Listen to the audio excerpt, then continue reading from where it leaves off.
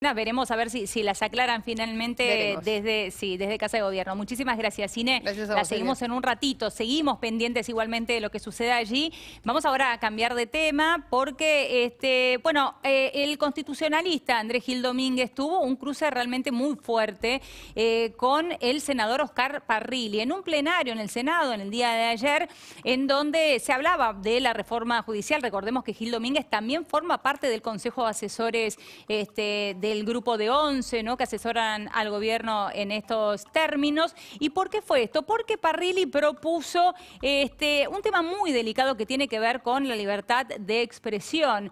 Eh, ¿Qué dijo? Dijo, bueno, que, eh, eh, otorgarle la posibilidad a los jueces de denunciar ante el Consejo de la Magistratura, si no me equivoco, em, cuando sienten que tienen algún tipo de presión por parte de grupos mediáticos. Bueno, Andrés Gil Domínguez le contestó esto Oscar Parrilli. Vamos a preguntárselo directamente a él.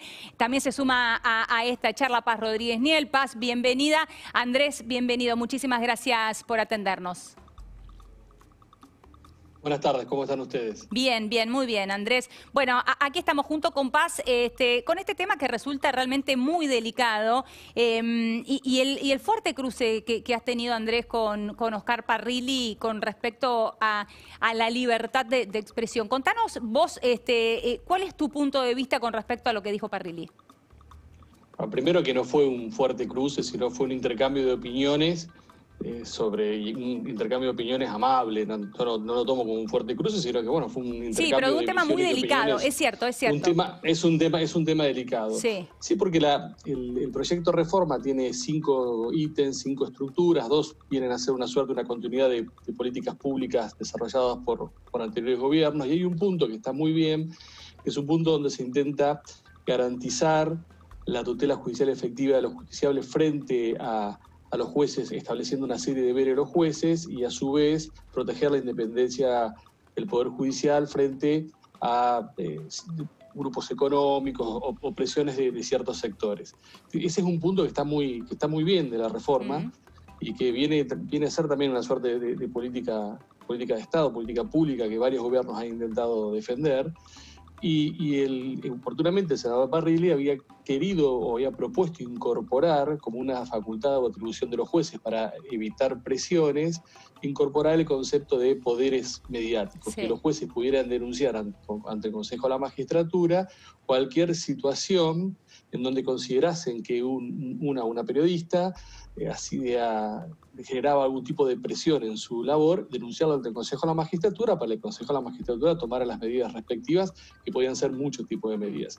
Y esta, este intento de modificación de esta parte del, proyecto de, reforma de la justicia es, desde mi punto de vista, conculca la libertad de expresión, el acceso a la información, porque está generando una suerte de un mecanismo de censura previa, directo o indirecto, una presión para, para, el periodismo independiente. Y esto es contrario a nuestra constitución, a tratados sobre derechos humanos que, que prohíben, inhiben cualquier tipo de censura previa, directa o indirecta y solamente establecen responsabilidades ulteriores, muy limitadas estas responsabilidades ulteriores, cuando se tratan de asuntos de interés o relevancia pública, porque ahí ya la libertad de expresión no es solamente un derecho individual, sino que es un derecho colectivo.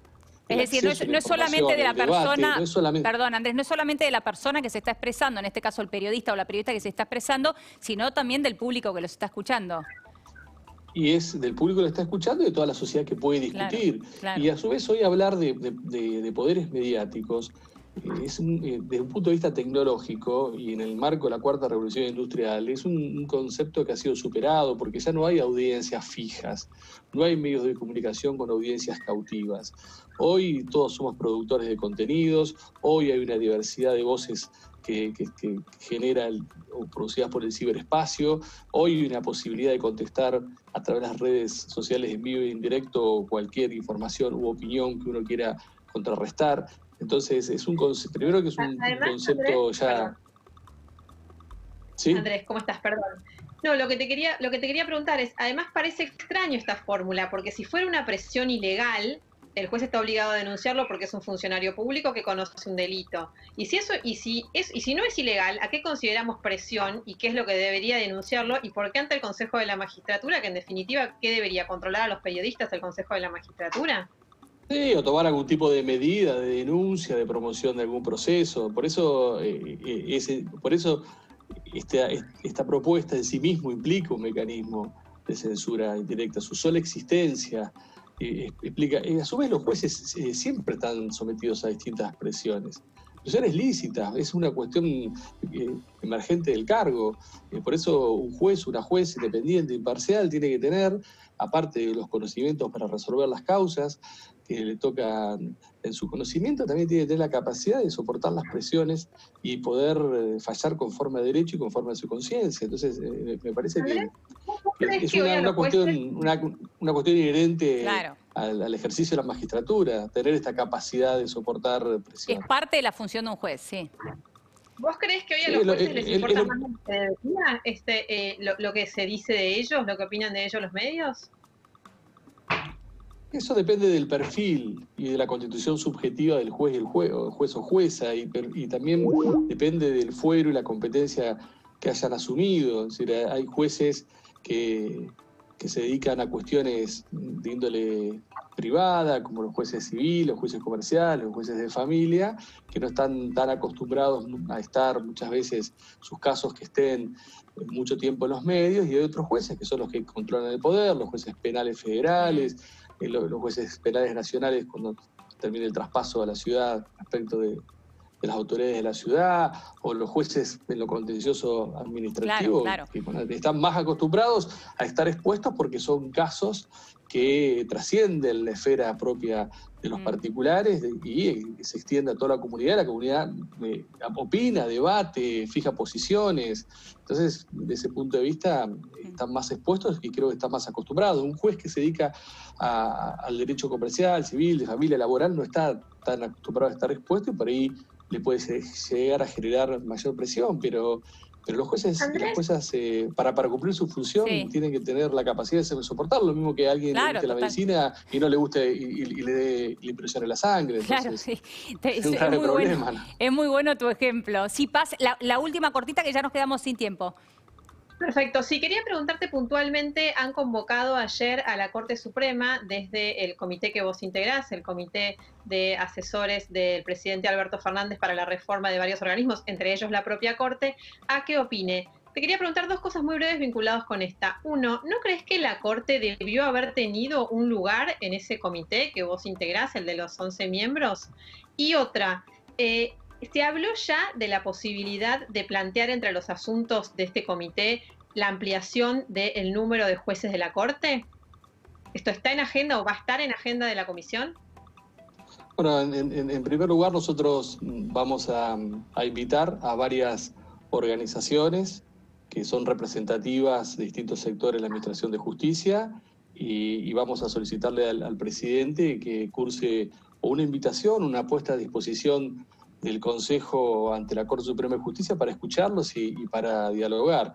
Si hubiese tenido que estar o no, es un tema que lo, resolvió el presidente, pero por más que no estén, la, escucha y el diálogo es permanente. Y la primera medida que ha tomado este Consejo es justamente abrirse a la escucha de, de todos aquellos sectores que son sectores que participan directamente en la Administración de Justicia para, para escucharnos, para intercambiar y para enriquecernos mutuamente.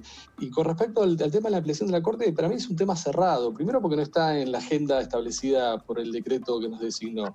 Y segundo porque para poder ampliar la Corte Suprema de Justicia hace falta un acuerdo político.